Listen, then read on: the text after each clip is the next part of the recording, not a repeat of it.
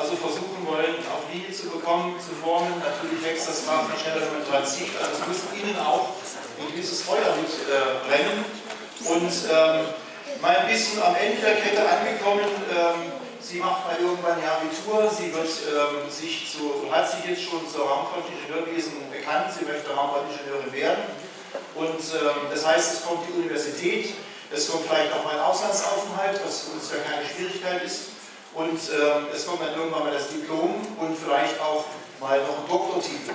Und äh, jemand, der auf diesem Weg ist, möchte ich Ihnen jetzt vorstellen, das ist Nadine Rösler äh, aus Chemnitz, studiert in der, ähm, im Lehramt Mathe und Physik, äh, möchte Physiklehrerin werden und ist Teil eines ganz ähm, interessanten Teams, nämlich des Diane-Teams, welche in aufblasbare Antennen produziert, zusammen mit unserem Doktoranden, also einem jungen Ingenieur der Raumfahrt aus Moskau, den wir hier nach Leipzig geholt haben und der jetzt inzwischen auf dem Weg des PhDs ist. Der ist momentan per Live-Schalt bei uns zugeschaltet, weil er ein äh, wichtiges ESA-Projekt zu betreuen hat und der Weg nach Brandenburg doch recht weit war. In der Zeit der Raumschiffe sollte das in Zukunft mal besser werden. Und Nadine, die Bühne gehört hier. Applaus.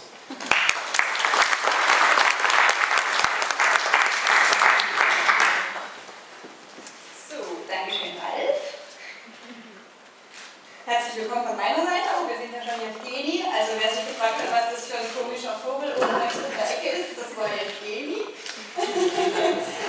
Und ja, ich möchte ähm, jetzt mal von der anderen Seite ein paar Informationen geben. Ich hoffe, mit dem Mikro ist so. Okay. Ähm, wir sind beide Mitglied im International Space Education Institute, das schon seit 2011 und nehmen noch an einem ganz anderen Projekt teil. Ähm, manche von Ihnen kennen das vielleicht, das nennt sich Rexus Plexus Programm. Ähm, ja, ich würde gerne mal gucken, ob man Evgeni hören kann. Kannst du mal Hallo sagen? Ja, hallo. Ah, okay. Geht ja eigentlich, oder? Mhm. Okay. Also genau, Evgeni wird uns noch ein paar Fragen am Ende mit beantworten können, weil er so ein kleiner Ingenieur ist. Ich bin eher eine ähm, äh, Öffentlichkeitsarbeit-Tante. und genau, deswegen ist halt die Evgeni hier und jetzt möchte ich Ihnen gerne mal vorstellen, was wir so in der letzten Zeit gemacht haben. Und ähm, Evgeni, da wirst du wieder klein. Genau, also Nadine Rösler habe ich ja schon gesagt. Und ich möchte gerne erstmal ein paar Worte zu dem Rexus Bexus Programm verlieren. Ähm, darunter versteht man eigentlich ein ähm, Förderprogramm, das Studierende aus ganz Europa ähm, unterstützt, ein Forschungsprojekt zu gestalten, welches ähm, im naja, fast Weltraum getestet werden kann. Das wird realisiert durch Raketenprojekte, aber auch durch Ballonprojekte, deswegen Nexus Nexus, Rocket or Balloon Experiments for University Students. Das ganze Programm wird hauptsächlich gefördert vom DLR und von der ESA, aber auch von der Swedish Space Corporation ähm, und vielen anderen Unternehmen. Und läuft im Endeffekt so, dass man ähm, als Studierendengruppe sich ähm, ein Forschungsprojekt überlegt, was man denn gerne untersuchen würde, sich dann bei dem Lexus-Programm bewirbt. Sollte natürlich irgendwas sein, was man eben auch beispielsweise in der Thermosphäre dann testen möchte. Und ähm, die Besten werden dann eben ausgewählt, ähm, dort teilzunehmen und denen wird sozusagen eine Rakete oder ein Ballon gesponsert ähm, wo eben ein Platz, ein Experimentierplatz ähm, freigegeben wird. Pro Rakete kommen vier Experimentierplätze rein, also vier Experimentierplätze pro Rakete. Und zwei Raketen werden zum Beispiel im Jahr gestartet. Und wir haben dieses Jahr am Rexus-Programm teilgenommen, also eben genau an so einem Raketenprogramm. Und zwar mit unserem Forschungsprojekt namens Diane. Und das steht für Dipole Inflatable Antenna Project. Das heißt, wir wollten gern eine aufblasbare Dipolantenne entwickeln und eben testen erstmal, kann man denn eine Dipolantenne erstmal aufblasen im Weltraum und ähm, ist es möglich, auch ein Signal damit zu senden. So, das war unser Ziel. Und die Rakete wurde, eben dann in die Atmosphäre, also ca. 86 Kilometer hoch gesendet und dort konnte man das dann ausprobieren. Das ganze Projekt hat natürlich über ein Jahr gedauert, also es ging natürlich mit theoretischen Überlegungen los. Man hatte erstmal so einige Grundideen und auch perfektionistische Ideen, wie man sich denn vorstellt, ähm, die sich dann im Laufe des Jahres auch immer mehr vereinfachen und umentwickeln funktionieren, wie man sich gedacht hat. Ähm, aber am Ende ist es ein großer Erfahrungsgewinn für Studierende ähm, und eben auch für uns. Und ja, da es so interessant ist, reden wir jetzt mal ein bisschen darüber. Unser Team besteht aus fünf Studierenden aus der TU Dresden. Also hier rechts unten sieht man mich, über mir ist Evgeni, wie auch in der Kamera, kann man mal vergleichen. Und, und die anderen drei Jungs in der Mitte, Timo, ähm, äh, Timo Fuckner, links Ulrich Lottmeier, unten und oben Tilo Zirnstein. Genau, und wir haben eben zu fünft äh, an diesem Projekt mitgewirkt, eigentlich von allein oder von eigenen Ideen her entwickelt. Und so sieht Diane aus. Also das ist unser kleines Experiment, was in der Nase der Rakete platziert wurde und auch relativ groß geworden ist. Wir wollten es eigentlich bestimmt, ich glaube, viermal kleiner haben, aber das hat nicht so funktioniert, deswegen relativ länglich. Und ich würde gerne mal auf ein paar Einzelteile eingehen, worauf man so achten musste, damit Sie sich so ein Bild davon machen können, was steckt eigentlich hinter Diane. Und zwar gibt es da vier Sachen, die ich mal kurz ansprechen möchte. Zum einen eben dieser quaderförmige Rahmen, den man entwickeln musste. Dann hier oben hinter diesem Rahmen ist die Antenne versteckt, wo ich auch erzählen möchte, was unsere Idee dazu war. Hier ist eine große Gasflasche, da würde ich genau die Gaszufuhr auch noch kurz erwähnt und hier unten ist die ganze Elektronik versteckt, für die waren eigentlich die anderen drei Jungs, die heute nicht hier sind, verantwortlich, aber auch da werde ich ein paar Worte verlieren. Fangen wir mal an mit dem Rahmen.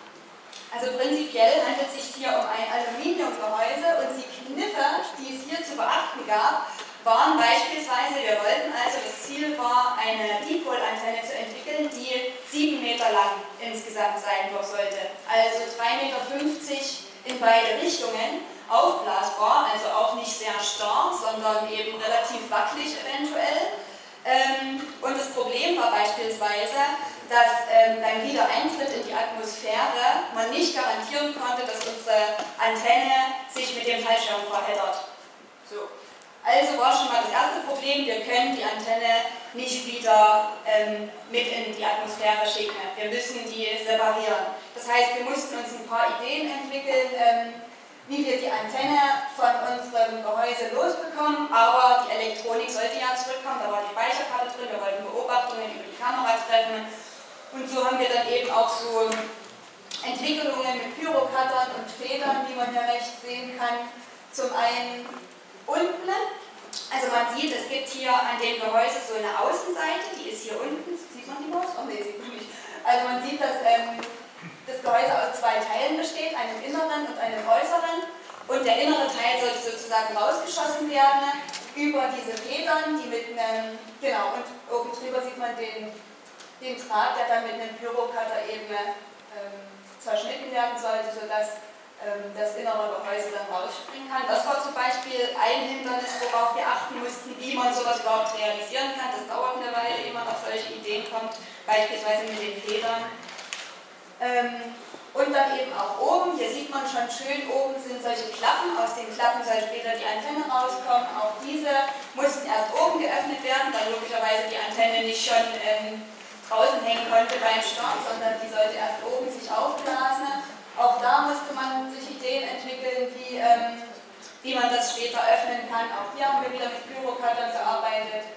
Und ja, das so viel eigentlich nur zum Gehäuse. Man musste also viele Dinge beachten, ähm, damit auch alles so funktioniert, wie man es geplant hatte. Dann zum Thema Gaszufuhr. Wir hatten eigentlich ursprünglich geplant, einen Gasgenerator zu verwenden, um eben Platz zu sparen und ähm, Gewicht zu sparen. Aber als uns dann bewusst wurde, wie extrem teuer sowas ist, wir haben zwar ein gewisses Budget vom DLR, ähm, das sie für unsere Materialien bezahlen, aber so teuer wie ein Gasgenerator war, ähm, hätte auch das DLR das nicht bezahlt. Deswegen haben wir uns dann für eine einfachere Variante entschieden, nämlich eine Gasflasche, die mit 8 Bar Luftdruck, glaube ich, gefüllt sein sollte, oder Evgeny? Luft. Einsprudler. Ja.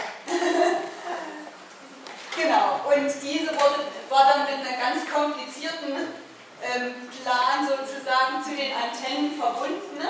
Also hier musste man über die Ventile, man musste beachten, dass ähm, erst die ähm, Antennen vakuumiert werden müssen.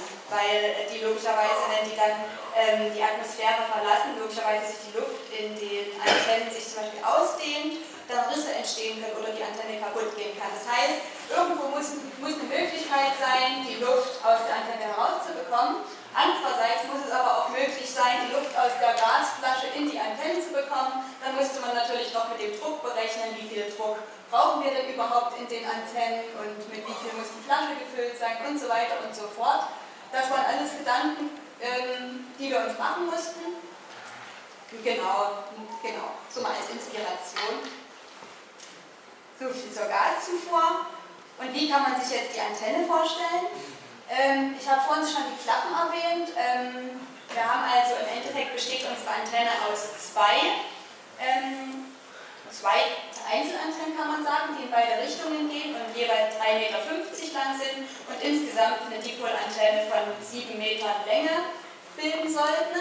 Und Ziel war es eben, dass oben bei dem Parabolflug die Klappen geöffnet werden, die Antenne aufgeblasen wird, mit Kameras beobachtet wird ob sie aufgeblasen wurde und ob sie auch ähm, stabil ist oder ob sie irgendwie schlackert, also das konnten wir alles nicht vorhersehen. Und dann war auch unser Ziel, damit ein Signal zu senden. Und im Endeffekt kann man sich diese Antennen vorstellen wie so kleine Zylinder ähm, aus Stoff, ähm, in denen dann der Draht sozusagen eingeschleift werden sollte. Wir haben als Material, als Textil so eine Nylonstruktur verwendet und äh, von ungefähr 2 cm Durchmesser. Das Problem war allerdings, dass man keine Röhrchen sozusagen stricken lassen konnte aus Nylon, ähm, die so einen kleinen Durchmesser hatten, also rund stricken konnte. Deswegen konnten wir eigentlich nur so rechteckige ähm, Teile ausschneiden und mussten diese dann irgendwie zusammenspeisen, aber auch dafür gab es bisher keine Idee, wie man das irgendwie stabil zusammenbringen konnte. Deswegen waren wir dann selber ein bisschen kreativ und haben so eine Art Schweißmaschine entwickelt aus drei Lötkolben. Ähm, darunter eine stabile Struktur, in die man dann eben, wie man in dem rechten Bild sieht, so an dem Zylinder die Nylonstruktur außen ranbringen kann und oben einen dünnen Nylonstreifen drauflegt und das dann gleichmäßig alles einspeist. Und das hat ewig gedauert, ehe äh, das funktioniert hat und ich war auch nicht so sicher, ob das alles funktioniert, aber am Ende, man muss ja immer alles testen, ähm, hat diese Idee ganz gut geklappt. Ja, hier sieht man mal oben, wie das in Wirklichkeit aussah mit den drei Lötkolben. Ähm, genau. Und unten kann man eben auch sehen, hier haben wir dann diesen Zylinder aus Textil und innen ist dann der kleine Draht, ähm, der die Antenne darstellt. Also dieser Draht wurde sozusagen mit aufgezogen beim Aufblasen. Genau, zu Beginn wurde die Antenne, musste die Antenne eingepackt werden, da musste man auch aufpassen, dass sie so gefalten ist, dass, ähm, dass keine Luftblasen innen drin entstehen können, dass alles halbwegs stabil ist und ähm, genau, dann haben, dann haben wir sie im Endeffekt per Hand zusammengefalten, da reingedrückt, musste gleichzeitig noch ähm, vakuumiert werden und wurde dann innerhalb dieser Klappen befestigt. Genau, kurz zur Elektronik ähm, was man zumindest beachten musste und was dann noch Themenbereiche waren, die wir uns kümmern mussten. Wir brauchten eine ordentliche Kamera, dafür haben wir so eine Heck-HD benutzt, ähm, um eben die Antennen auch beobachten zu können. Das heißt, wir hatten Kameras, die in beide Richtungen nach oben gezeigt haben, wo wir die Antennen beobachten konnten. Dann möglicherweise das Mainboard, was dafür verantwortlich war, dass alle Klappen zur richtigen Zeit aufgehen, dass die richtigen Teile zur richtigen Zeit entfernt werden und dann brauchten wir noch einen ähm, Transmitter oben rechts, ähm, der das Signal sozusagen auch sendet. Und genau, das waren so die elektronischen Teile. So sieht unsere Diana ausgebreitet aus. Hier haben wir sie einmal fertig vom Einpacken nach Schweden. Der ganze Start findet in S-Range statt, also im Norden von Schweden. Wurde dann dort per Containerschiff hin transportiert und ähm, genau, hier haben wir es sozusagen das letzte Mal gesehen. Und hier sind wir dann in Schweden angekommen. Sieht man schon unten, wie das an, der, an dem Raketenrumpf eingebracht ist. Richtig. Wenn wir ein Signal senden, müssen wir natürlich auch irgendwie sicherstellen, dass es empfangen wird. Dazu haben wir ein, zum einen selber eine kleine Empfang, eine Empfangsstation aufgebaut. Man sieht also hier in Schweden ist es ein bisschen kälter, da lag noch Schnee. ähm, haben wir unten eine Empfangsstation aufgebaut, um zu gucken, empfangen wir überhaupt das Signal. Und dann haben wir auch zusätzlich noch so einen ähm, Radio-Amateur-Contest stattfinden lassen, haben beim Funkamateur eine Info gegeben, dass wir zu der und der Zeit ein Signal senden werden und alle, die was empfangen können, mal eine Rückmeldung geben. Und genau, das waren so unsere Ziele. Sage ich gleich noch was dazu. Vor dem Start Genau, vor dem Start musste man noch so einige Tests machen, also logischerweise äh, Flugsimulation einmal für Diane alleine, also wurde dann der Flug simuliert, ob alles funktioniert. Hier sieht man ähm, Diane ganz links und die nächsten drei ähm, Teile sind sozusagen die anderen drei Experimente, die, die mit auf der Rakete sind. Da gab es auch als Test vorher eine Simulation, ob alle miteinander harmonieren, ob sich irgendwas stört, ähm, bevor eben alles wirklich losgehen konnte. Und als diese Tests dann geklappt haben, wurde die Rakete zusammengebaut, sah so aus und mit Motor so. äh, ungefähr sechs Meter lang kann man sagen und dann ging es damit in, den, ja, in die Atmosphäre. Ähm, richtig, ich würde gerne ein kleines Video dazu zeigen, was wir aufgenommen haben während des Fluges, wenn daran Interesse besteht. So. Genau, das sieht man schon mal, das ist schon mal gut. Und dann können Sie sich mal angucken, was wir für, ich hoffe, das geht jetzt. Also ich muss meine Maus hier noch Ah, hier, jetzt sehe ich sie. Und da gucken wir mal an, was aufgenommen wurde. Jetzt ist die Nase noch dran, jetzt ist die Nase der Rakete abgegangen.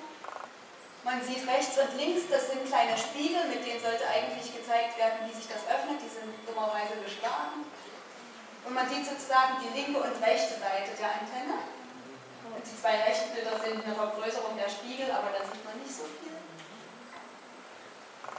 Genau. Also hier ist noch nicht viel passiert, jetzt steigt man noch auf.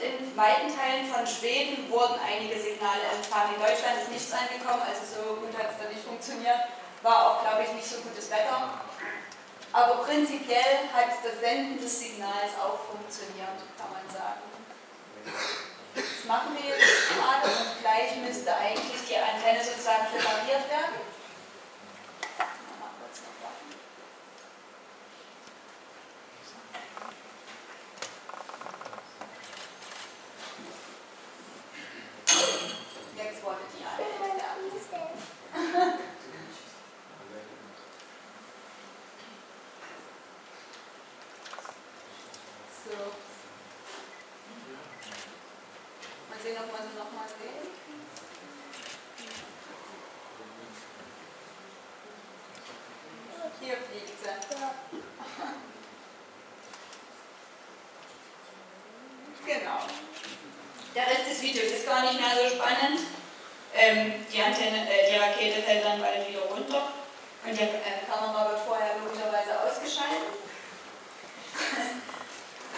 genau, jetzt habe ich mal den Evgeni noch groß gemacht. Ähm, Das erstmal von meiner Seite. Evgeni, möchtest du uns noch ein bisschen was zeigen, was du da hast? Vielleicht auch kurz von deinem Nexus-Projekt oder was auch immer du zeigen möchtest. Oh yes. Um, hello once again. Um, thank you again for the presentation. That was great.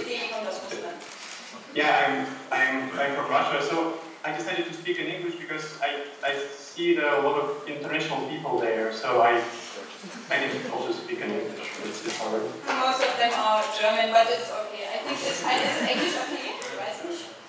Okay. So uh, uh, I was in mechanical engineering this project as well as also a team leader of the Tiana project. And before we did the other project, so I, am doing PhD now in, uh, in technical university. And in my, my team on this place for antennas development of inflatable antennas, uh, everything of this. And before we did the other project, we also had uh, another Nexus project, a room experiment for students. Uh, we also tested the inflatable antennas and antenna with, uh, so it should be rigid, consolidated, uh, rigidized, um, like to, to, be hard against the gas uh, outgassing or uh, micrometeorite piercing. So it should be stable. And you can see here, this is the structure, uh, hard structure already uh, cured by, by the sunlight. And um, this is a Yagi antenna, so you can see the conducting elements inside. And here, this is also the conducting elements, and they was made of textile coated with uh, TPU against the against the air leakage. And from other side, from the, from the outer side, it was uh, curable resin, uh, which can be cured and uh, by the sun. So it was a successful project. We tested the technology, so the antenna, as it's inflated, could be could be really hard. And since I'm in university, I also have this uh, antenna parts, what, what Nadine already told about. Uh, this is actually our structure, what it was. This is a nylon uh, nylon pipe, nylon hose, what we did, what, what Nadine already explained. And you can see here is this is the uh, welding bead oh, yeah. from, from the structure. Um, this is a, just a nylon that was inflated. There's only one part, and another part is and it's here, just below. And inside of the antenna is the metal metal steel rope, so which was conducting, acting like a conducting element. Yes? Das, if you have some mechanical questions from mechanical side, also ask. Genau, also wir werden ja jetzt die Fragerunde gemeinsam machen. Das wäre es erstmal von der Seite und genau, genau. Erstmal danke auch von meiner Seite für Ihre Aufmerksamkeit.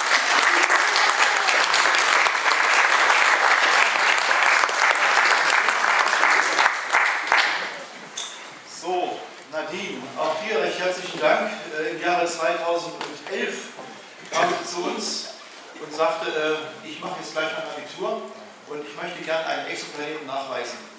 Und da habe ich gesagt, Nadine, weißt du überhaupt, ob denn die Prüfungskommission weiß, um was du da redest? Ja?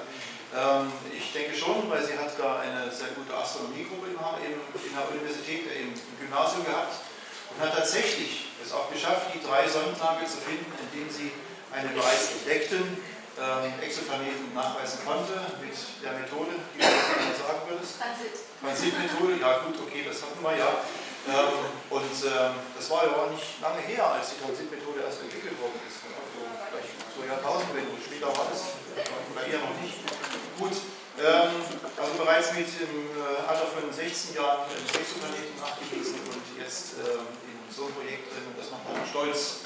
Und äh, dafür recht herzlichen Dank, Nadine. Und äh, sie ist auf dem Weg einer Lehrerin und damit wir sie dahingehend äh, äh, tatkräftig unterstützen können mit praktischen Möglichkeiten, geben wir ihr natürlich jedes Jahr die Möglichkeit als Teamleiterin äh, neuer Teams mit äh, nach Amerika zu fahren und dort auch selbstständig die Teams mit entsprechend anzuleiten.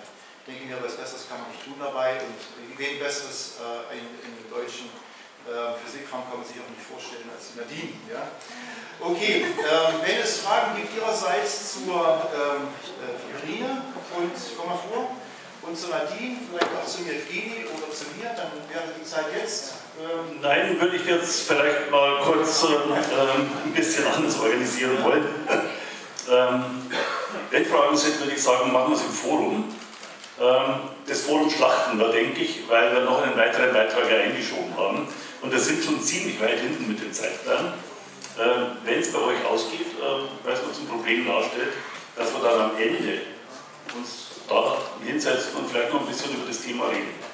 Ja, das einzige Problem ist nur wegen Jevgeni. Also Jevgeni. Hat jemand an Jevgeni eine Frage?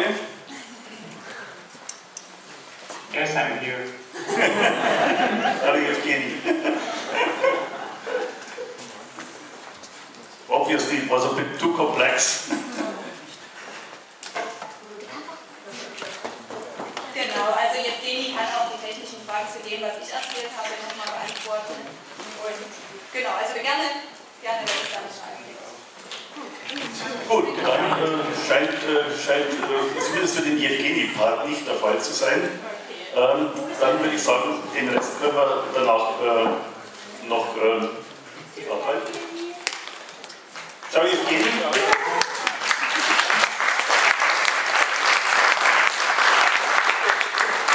So, vielen Dank fürs Zuhören. Eine ganz kleine Sache habe ich noch. Mein Sohn, der Jesko Junior, der hat ein Hörgerät gefunden auf der Treppe. Ähm, ist das Ihres? Ja? Okay, da ist es. Dankeschön. Okay, äh, schon wieder eine gute Tat. Äh, die Nadine wird sicher eine tolle Pressetante, die sehe ich schon kommen. Gehen wir, gehen wir jetzt zum, äh, zum nächsten Beitrag über. Und äh, hier haben wir Mars 500, eine Mars-Simulation, die ziemlich hart war. Ich habe schon etliche Mars-Simulationen gesehen, die meisten halt den Dachsteingebirge von ein paar Tage auf ähm, oder sind